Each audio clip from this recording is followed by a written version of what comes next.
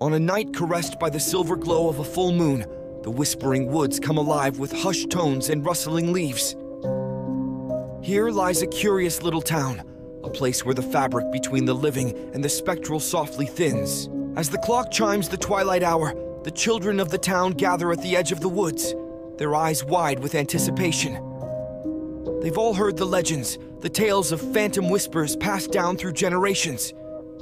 Tonight, they yearn for an adventure, a glimpse into the enchanting world beyond their own. Amidst the shadows, a gentle glow begins to form, taking the shape of Ellie, the young, kind hearted ghost known to all as the storyteller of the spectral.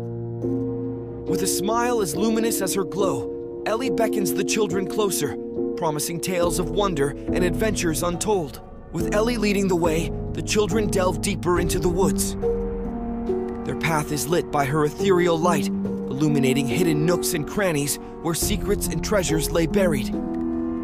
Each step further reveals the enchanting symbiosis between the natural and the supernatural. In the heart of the woods, Ellie shares her most cherished tales. The children listen, enraptured, as she speaks of ancient mysteries and the spirits who roam the night.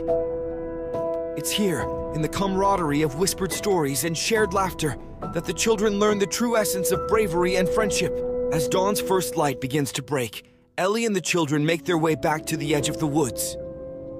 Their hearts are full, their spirits alight with the magic they've discovered. A magic born from believing in the unseen and embracing the wonders hidden in the shadows. Phantom whispers, haunting tales from beyond. Becomes more than just stories. It transforms into a legend that resonates through the town, a reminder to all of the magic that surrounds us, waiting just beyond the veil of our understanding.